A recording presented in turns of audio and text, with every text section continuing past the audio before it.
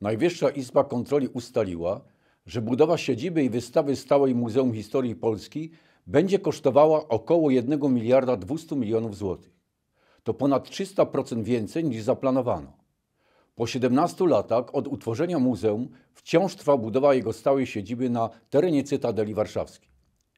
Zakończenia prac należy spodziewać się nie wcześniej niż w drugiej połowie 2023 roku. Zwiedzanie głównej ekspozycji wystawy stałej muzeum nie będzie możliwe wcześniej niż w drugiej połowie 2025 roku.